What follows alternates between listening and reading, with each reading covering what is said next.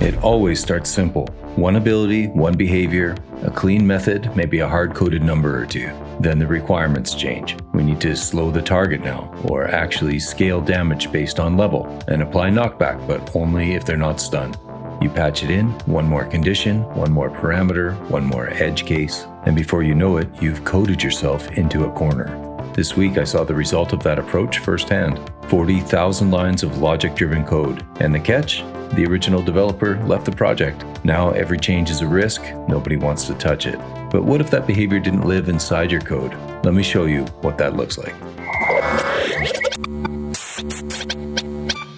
We all know the logic driven approach everything hard coded, brittle, and tightly coupled. Now let's flip the model completely. Instead of writing code for every ability variation, we're going to define behavior as data and let the system execute it. Here's the foundation, a scriptable object that describes an ability entirely through configuration. Let's add an attribute so we can create these inside of Unity's project view. Each of our abilities is going to apply effects. Let's have an abstract base class for all of the effects. We'll mark this and any subclasses as serializable so Unity can serialize them when stored as part of a serialized reference list. Each effect will implement an execute method. We'll get the caster and the target and apply our logic accordingly. Back up in our ability data, let's first of all have a label to represent this ability, and then let's have a serialized reference list of all the effects that belong to this ability. For convenience, let's add an onEnable method. Let's say if the label hasn't been set yet, let's just give it the file name. And we could also say if the list hasn't been initialized yet, let's just set it to be an empty list.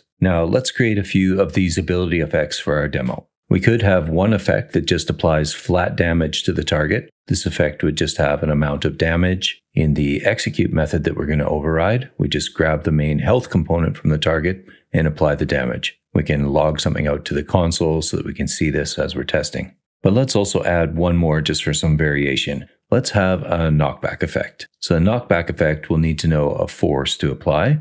And then in the execute method, let's calculate a direction for the knockback. We can grab the target's rigid body and apply that force to it using force mode impulse. Again, let's log something out so that we can know what's happening before we even apply any visuals. So far, this is looking pretty straightforward, but we will need some kind of component on the player to actually execute these abilities. Let's create a new class. Let's keep this class really simple for now. I'll set up two fields here, one so that we can test out an ability, and another so that we can just set a target. We're not going to implement a full targeting system just yet. Let's drag something in. Our ability executor will have one method. We want to execute our selected ability on the target. And when we do that, we want to apply all of the effects associated with that ability to the target. Each of our effects has its own execute method. We just pass in this game object as the source and of course our target. So that we can test this out, let's have an update method here where we just check to see if the spacebar was pressed this frame. If it was, let's run the execute method on our target. Let's go see how this looks in Unity. I've added the ability executor script to my player and I've marked this giant wall as my target. But we need to make some ability data. From the context menu, I'll come down to my new section, scriptable objects, and I'll create a new ability data that I'm just going to call fireball. Now my onEnable method will automatically set the label to be fireball. And if I want to add a new effect now, I can just click the plus icon and get a selection of the different polymorphic types that inherit from ability effect. So maybe we want a damage effect of 10, and maybe we could have a knockback effect of, say, 20. Actually, maybe that's a lot. That might really blow the wall away. Let's just do something like 5. Now, back on my player, I'm just going to drag this fireball ability into its ability executor. Now that's all we need for a short test. If I hit Control P and go into play mode, here I can hit the spacebar and we see the knockback effect immediately on the wall. It starts rocking.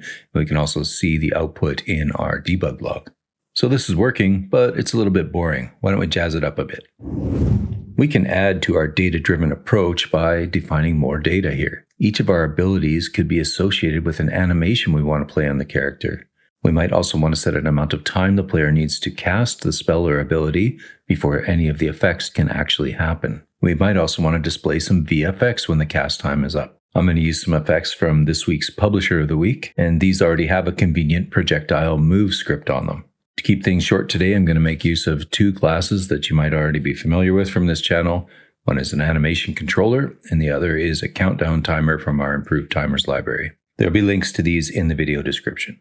In our awake method, let's first of all get a reference to the animation controller, which is a component on the player. Then we can initialize our countdown timer with the cast time that we set in our data. For our cast timer, whenever it starts, we want our animation controller to start playing the animation associated with this ability on our player. When the cast timer stops, we're going to spawn our VFX.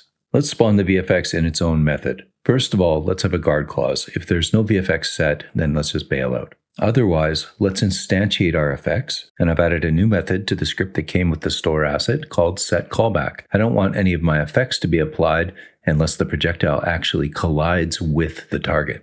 So let's take the application of our effects, we'll move them out of the execute method, and we'll put them into this set callback method. Now our execute method really only has one responsibility, and that is to start the cast timer.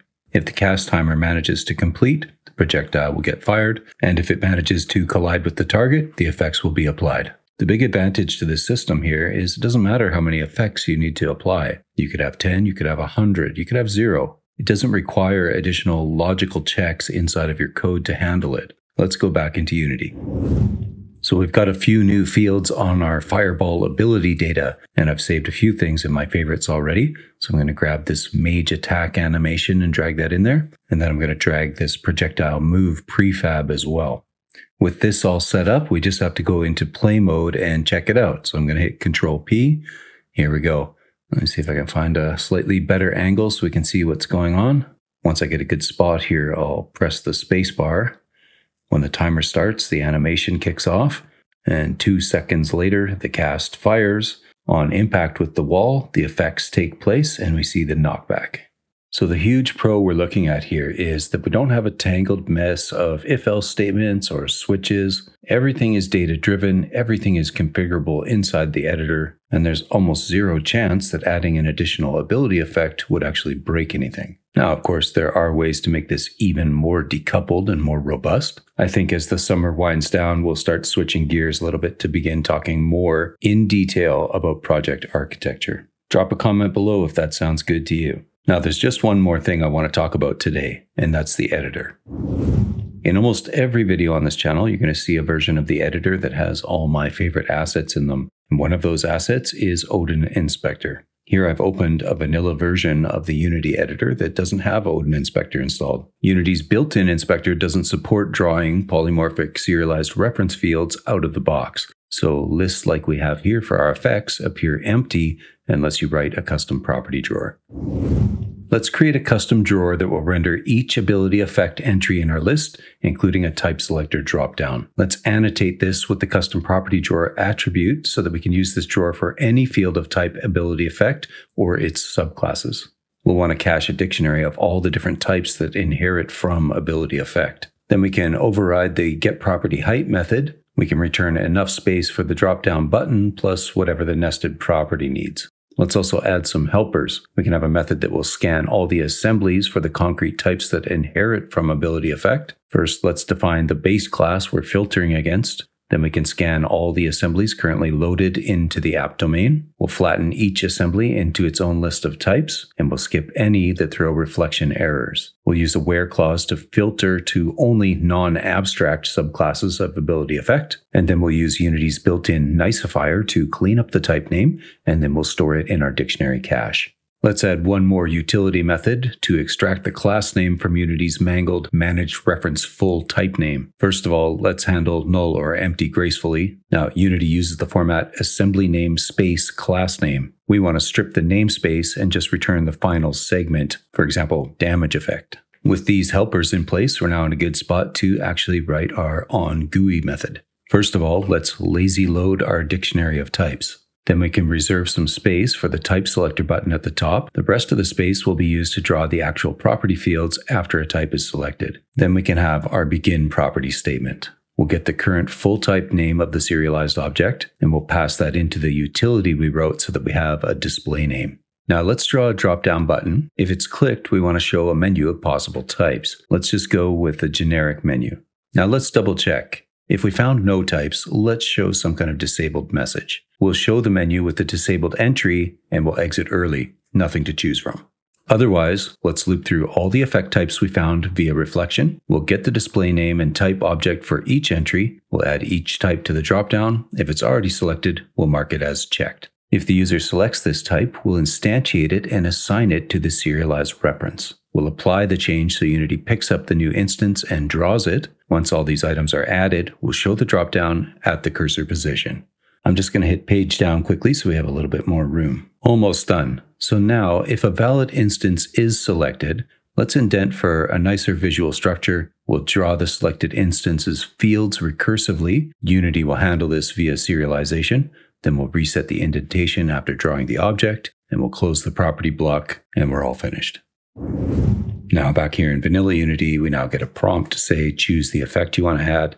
You choose it, and you can use this collapsible box to add any of the properties associated with that particular subclass. For me personally, I find Odin Inspector to be a real time saver, but of course, there's nothing that Odin does that you can't do yourself by implementing your own code like this.